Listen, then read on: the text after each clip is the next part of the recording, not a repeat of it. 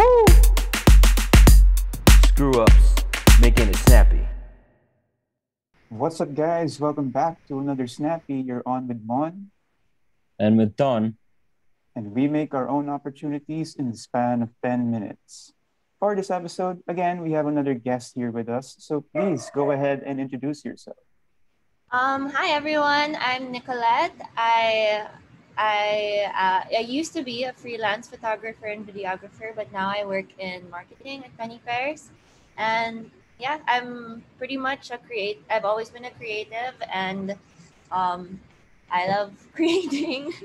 I'm actually excited to see what they're gonna ask me because I wasn't sure why they called me on. So thanks for having me here, and yeah, let's let's do it. Awesome. Well, that didn't put any pressure on us at all. Like we don't we don't work we don't work up questions here. Like it's straight off the top of our head. So this will be in, equally interesting for both sides. Um, but yeah, what, we, Mm. what we explained earlier, we have a ten minute timer. Once it starts, let's see na lang where the conversation goes, and then after that, whatever said or left unsaid, we'll just leave it as is. Um, but yeah, okay. So we'll start the timer in three, two, one. All right. So it's very interesting whenever we have, you know, creative people on the show because it's very nice to see that there's a lot of like booming content creation being done now in its various like shapes and forms. So how did you get to, you know, where you are now being well, being a former um digital creative, doing all of these shoots and all of these like projects? How did you get to where you are now? Did you want to do this like since before college pa, or Well, actually, I started to make videos when I was just six years old. My mom Mm. got a Nokia with a camera, and I was Wow. really excited. Yeah, right. and then there was, um, I downloaded an app that was like a movie maker app, and you just like Mhm. put in random videos, and it sets it to music and stuff. And like I just made a bunch, and I'd always steal her phone to make those. And then ever since then, I was like, wow, I really enjoy making videos and like just telling stories like this. So um, it just grew into kind of a hobby in high school. And then by college, I ended up taking communications and I studied it. And I, well, I, I ended up taking communications by chance. I didn't know it would be like a video and create creative thing. I just Mhm. I, I wanted to go to Taft, but I wasn't allowed. So um, when I signed up for Ateneo, I just put a random course, and communication sounded easy. I'm not saying it is to all my other com people, but communication sounded easy, so I just put it, and I ended up there, and it ended up being about like lots of video production and broadcasting and um, studying films and stuff. So uh, it all ended up uh, pointing me towards like the creative process and production. And come pandemic, I graduated and um, my friends all started small businesses. Like there was that time during the pandemic, everybody just had a small business. And they needed people to take pictures of their stuff and videos of their stuff. And I was free, literally, and uh, schedule wise. So they asked me to help them out, and eventually it became my business over the pandemic, and it lasted for a year, and it was really, really fun. So I'd say it's thanks to uh, fate and friends trusting me, or maybe being kuripot, but it ended up like being super beneficial for everyone. I really had the time of my life um, doing that. Uh, but I guess what's interesting about me is I'm freelancer turned corporate, and I actually really love it. Like lots of people quit corporate to go into freelance, which Mhm. I understand because you have your own schedule and everything. But what I really love about um, working in marketing in corporate now, um, well, my company's a small company, so it wouldn't be like the typical nine to five hours, Mhm. strict bosses and stuff. We're just a team of eight. Everybody's super nice, and my bosses are like just like three years older than me, so they're not really. They want to do it like they don't want to get stuck in traffic. They don't want to work late. Everybody starts working at eleven. Like that's kind of the culture. nice? Yeah, that must be nice. yeah, it's really nice. we have a really nice work culture, and um, I like having a boss. I really like having someone to tell me what to do. After a while of Mm. freelancing, I was like, I don't want to make my own decisions anymore. Someone please tell me what to do. And I found someone to boss me around. And it's awesome. there. Yeah. Mm. Yeah, that's So- cool. It's a, it's a very cool story nga, di ba? Um, You've said na you've always been a creative, di ba? And funny nga, because I completely agree with you when it comes to communications as a course. I did not think it involved like video shoots or broadcasting same. stuff, di ba? Because it was like my second choice in college, eh. And buti na lang I got in my first choice, which was psych, di ba? Pero if I landed in communications, I probably would have been a fish, like out of water. Oh. Oh, it's crazy. But good Oh. for you, diba? I mean, like you said, fate, diba? Sort of like, um, since you were a creative all your life and being in that course, you were able to be exposed to so many different facets, diba? And, uh, videos, you know, photo shoots and all that, diba? So good for you. And I also like na you mentioned yung from being a freelance, you know, to being in corporate, diba? That's completely fine, you know, like wanting to have like somebody to follow, diba, a boss.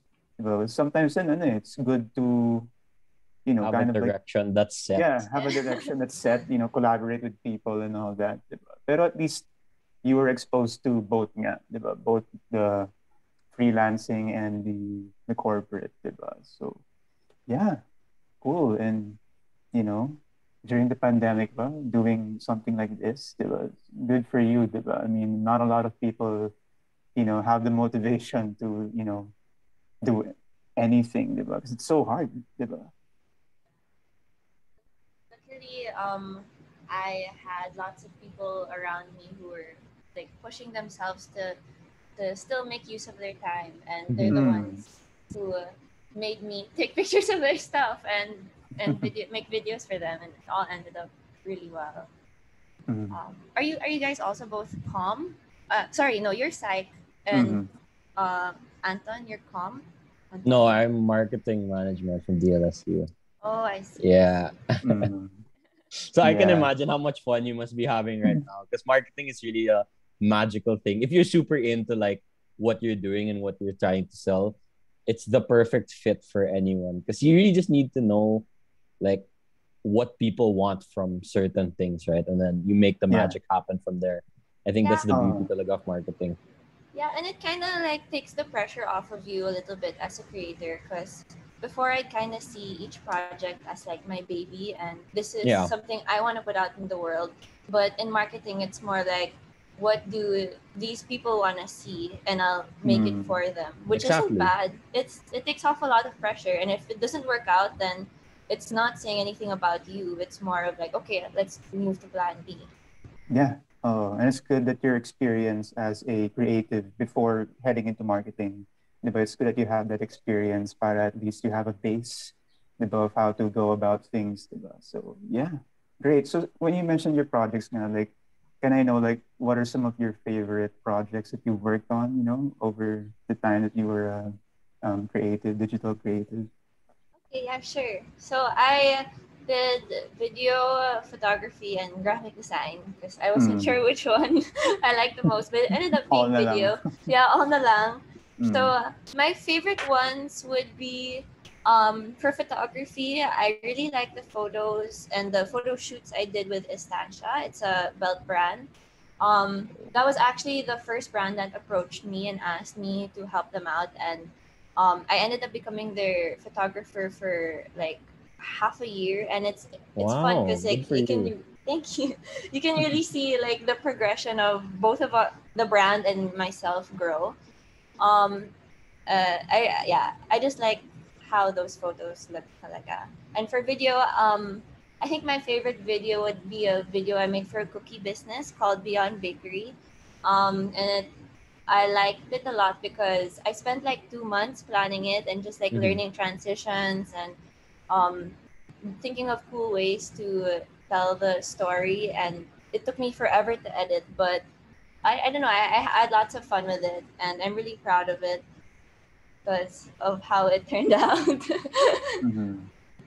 yeah uh yeah those are the my two top favorite ones Yeah. Uh, it must feel very fulfilling also, no, seeing like the project kind of come to life, you know, because it's also Yeah. your vision and their vision also kind of coming together, diba? So yeah. Yeah, and it since a lot of them were my friends, it was also like it was really nice to work with your friends and help each other out and like Oh yeah, I'm sure be that must have been so like nice and Yeah. easy but to work with them because you guys Mm. kind of have a meeting of minds to understand what vision each of you want, right? And then it's so easy to communicate it. Like that's Yeah. really the key talaga. Communication is key. Like in everything. Yeah. Communication makes the world go round. Yeah. So yeah, those were the ones. And it and it's always fun like telling the story of the brand. Oh yeah. And then you know that you contributed to helping them express exactly how they wanted to portray their brand, right? Because that's a piece of you and a piece of them together. And that's really the beauty of collaborations. That's so true. That's so true. Wow, what a what a what a smooth story. Like it kind of just everything kind of aligned up for you. Like even now that you're not a freelance digital creative anymore, you're kind of still utilizing the skills that you learned there in your job now, which I think is why you you're enjoying it also now because you know it's still it's something different definitely from what you used to do, but you're still kind of in the same realm of creativity. So you still get to use like all the things you were so passionate about doing in this new job that you're in right now. Definitely. And um it kind of feels like now I'm in a long term because when I in a long term relationship with my work because before it would feel like kind of like I'm speed dating every other Yeah. week I have a new client I'm talking to a new person and then I I don't see them again but then now like I really get to um test things see if they work and like grow with this brand and see the the monetary effects of my marketing Whereas before, like I just get a one-time payment and then I don't know really how it worked out. So yeah, it's now it's nice to also really like commit yourself to a brand and then grow with it. Yeah, it's a nice way to look at it. I, I never really looked at it like that. Na Mm. it, it is like speed dating when you're kind of doing one project after another. But then when you find this one really consistent thing that you have to put a lot of commitment into to make it work, then it really is kind of like a relationship talaga. Yeah. We're serious now. yeah. Mhm. All right. So we have one last question. It's, it has nothing to do with like being a digital creative, but it's just something that we add every time we have a guest on this mini show to make it a little like fun and to switch things up a bit. So we have 30 random questions that we made ourselves and we numbered them 1 to 30. And every time we have a guest on the show, we ask them to pick a number and then answer whatever question is on the number. And then, yeah, they're super like all over the place. Like the topic is so random, it's not funny. There's no Okay. uniformity here. So go ahead and pick a number from 1 to 30. Let, let's do 23. Okay, Okay. 23 is. okay, so y- have you seen the movie 500 Days of Summer? Yes. Okay, so who do you think was in the right? Oh. No, we haven't. Ah. No one's picked this yet, so this is gonna be. in- Mm. This is the first, yeah. Um, I I feel like maybe.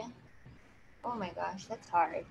I'd say I don't know. I find them both to be in the wrong, but I, if I had to choose who's less wrong, maybe it's the maybe it's the guy because Okay. yeah, because I feel like okay, they're both wrong in the way that she wasn't being clear and she was also leading him on, Mhm. and I feel like he would um and he was really a victim of that. But I feel like what he did that was a bit worse was he was really romanticizing and idealizing her and not really seeing her as um Summer the girl, but more of like Summer my dream girl, like the perfect image of this girl and that's why he'd also get so disappointed because he couldn't really accept the the, the bad things or the bad parts of her.